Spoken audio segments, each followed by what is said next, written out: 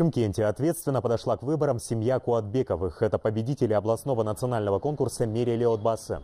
Большая и дружная ячейка общества решила сегодня показать, что значит быть образцовыми.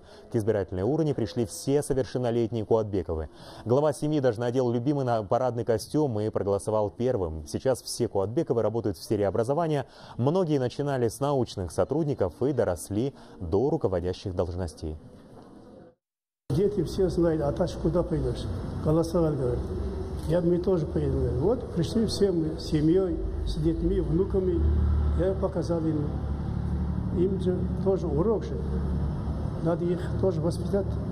Для нас традиция участвовать в выборах. Вот э, и папа, и мама, и вся наша большая семья сегодня пришли участвовать на выборах, чтобы как бы не отстать, потому что для каждого гражданина это большая ответственность, я считаю, и все избиратели должны участвовать на этих выборах.